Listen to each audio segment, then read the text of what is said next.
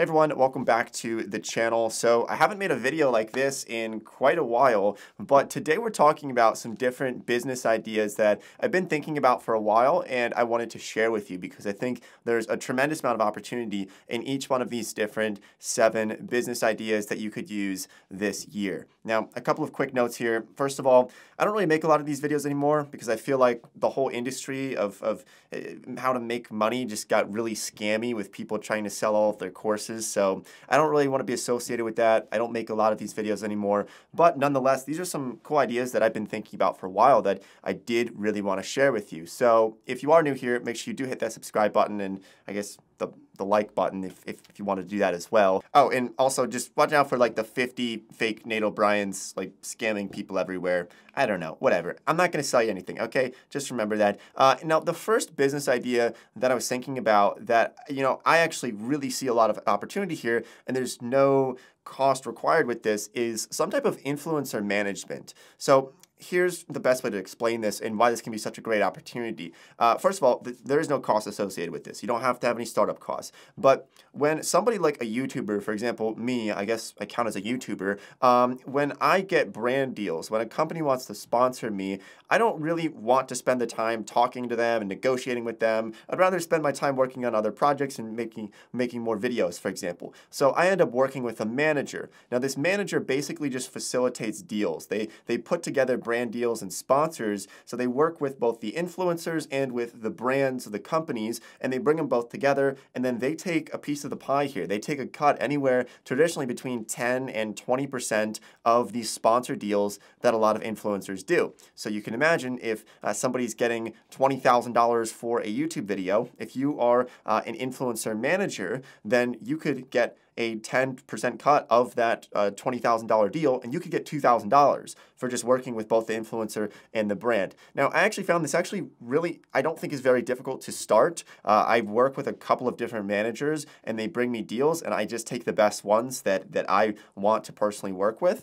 Um, but I think anybody can start it by basically just reaching out to a lot of influencers uh, and then reaching out to brands and, and just putting them in contact with each other and managing those deals. Um, maybe I don't know if we're going to make a more in-depth video on this, but I really do think there's such a great potential for something like this. And it doesn't just have to be YouTubers, it could be for TikTok influencers or various different types of influencers as well. Just remember putting those two uh, together, the brands and the influencer, connecting them, and you can end up taking a cut from that. Uh, and I think it's a pretty great business model. Okay, the next one uh, is going to be for people who are a little bit more hands-on. You're going to find that within these seven different ideas, some of them are going to be ones you can just lay in bed and, and, and make money, and others are going to be a little bit more physical. But I wanted to include both here because I know some people would rather just work with their hands. So the next one I think is really fun. Uh, it is converting vans. So there's been this really big trend for van life that I've seen recently in the past year or two, uh, especially.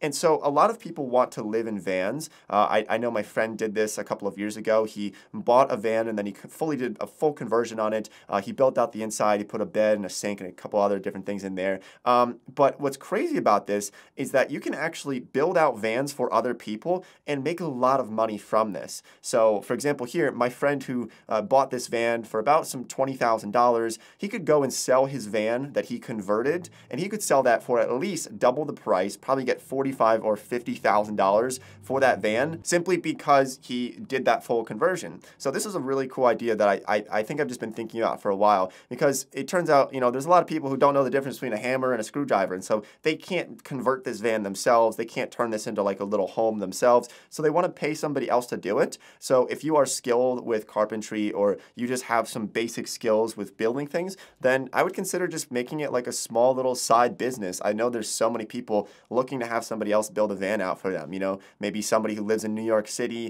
uh, they're making a lot of money. They don't have the tools or the resources to convert their van, so they'll just hire you to do it. Um, there's a number of ways to market this service, but um, if you get into that van life uh, area on YouTube or on social media, you could probably find some clients on there, or uh, maybe just start to buy vans and convert them and then sell the vans. But really, you don't even need to do that. You can just build them for other people and not have to really have many costs associated with that. Okay, so the third idea is going to be a monetized newsletter. This is another one that I've been looking at for so long, and I honestly wish I could do this myself, but I just have too many other things that I'm working on right now, but I think there's so much uh, potential here, is monetize newsletters. Okay, so if you uh, are familiar with Morning Brew, it's a company that sponsors some of my videos in the past, and this company, it's, it's just a, an email newsletter. Anybody could start something like this. Uh, and I think last I checked, they were valued at about $50 million. I'm not sure what the article was. I'll throw it up on the screen here. Um, but it's just a basic email newsletter. This started out, I think, about five years ago.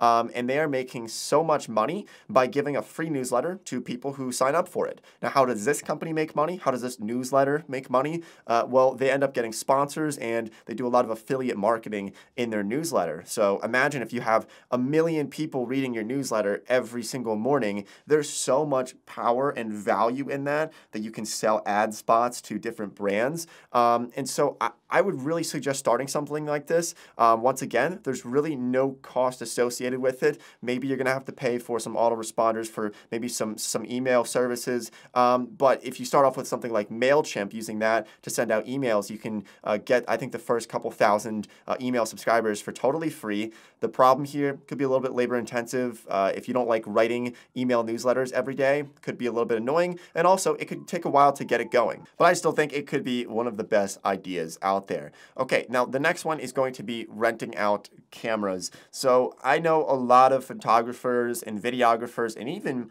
YouTubers who might not want to buy like a, a new red camera, some of those really expensive five or ten thousand dollar cameras, uh, because maybe they just have one shoot that they want to do, uh, or maybe they just have one project that they need to uh, borrow some equipment. And so there's actually a whole business opportunity within this uh, uh, different scene here, which is by renting out equipment equipment, especially like cameras or different types of audio gear, to photographers and two videographers uh, and, and for people who uh, need some type of things like that. So um, I, I know a couple of people who do this. Actually, I only really know one person who does this uh, really, really well. Um, there are a couple of caveats here, a couple of problems with it. But the cool thing is that, you know, imagine you can buy something. Say you can buy something for $5,000 and then you're renting this out multiple times per month for maybe a few hundred dollars per day. Uh, and you're able to really make a lot of money from this one physical object that you have. And you could take this same idea of renting out cameras to photographers and videographers,